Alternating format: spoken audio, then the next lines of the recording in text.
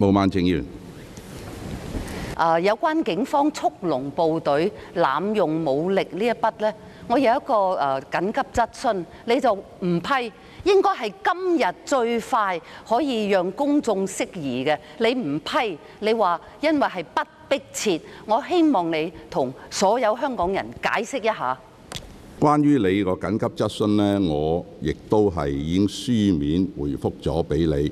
我係認為呢，你個問題喺上一次呢，亦都係有足夠嘅啊答問，亦都喺呢一度呢，係未喺今次會議係未必急切到喺呢個。